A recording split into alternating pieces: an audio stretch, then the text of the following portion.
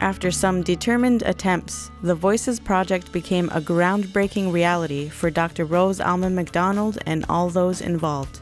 This is the first time a project like this has been executed in an Indigenous community. From the national perspective, uh, children and youth, as part of the Indigenous population, are the highest at risk in Canada.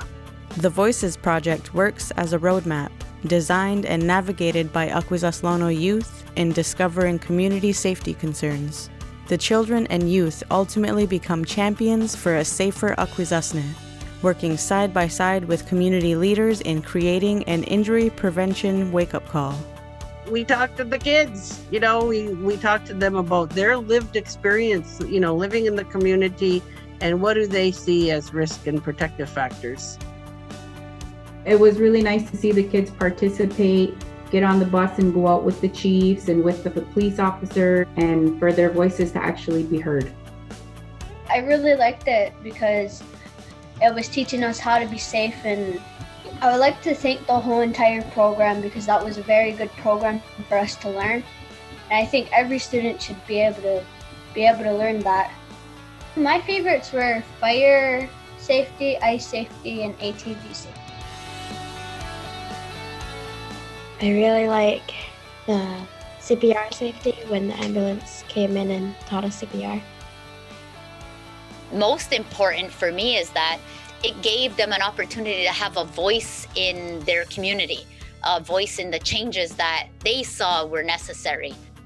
Moving forward, it is the hope that the Voices Project will create a ripple effect, that the kernels of concern brought to light by the children of Akwesasne will transform into solutions and a safer community. Hearing the children's perspective on this is, is very helpful. So, you know, uh, working with the police services who does outreach and talks to children about safety, you know, is extremely important and, and to be able to identify the, the, the areas that the children identify. Canada has has not made injury prevention a priority. And it definitely has not made injury prevention a priority for Indigenous peoples. And that's where we get the high rates of disabilities. That's where we get the high rates of death, you know, uh, amongst Indigenous children and youth and families. And then we're starting with our little fifth and sixth graders. You know, they're going to be our future leaders having the curriculum now, the curriculum which was refined over time, um, it's available to us now for use in our schools. So it doesn't have to stop here. So Niawen:kowa to all of our partners who have helped make this a wonderful, uh, successful project. Yama.